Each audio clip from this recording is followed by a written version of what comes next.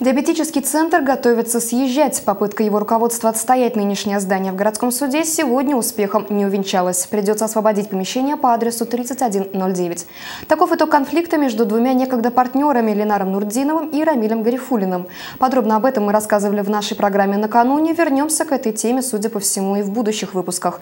Ведь учредитель диабет-центра Ленар Нурдинов сдаваться не собирается и намерен обжаловать сегодняшнее решение челнинских судей.